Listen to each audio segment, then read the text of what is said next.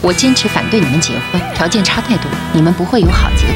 你所担心的事情我已经明白了，结婚日子我跟子晴商量之后就会定下来。王木一定不会让你失望的，这辈子你依靠我们过日子就好。你是故意的吧？你明明知道我喜欢他，你真可恶！你到底是哪里好？我真的没有办法理解。王木，我真的好难过，我不甘心，我可以对王木哥比李子清好几百倍。我这么喜欢他，王木哥为什么还要选李子清？为什么？周一至周五晚间六点，老天爷呀，给我爱。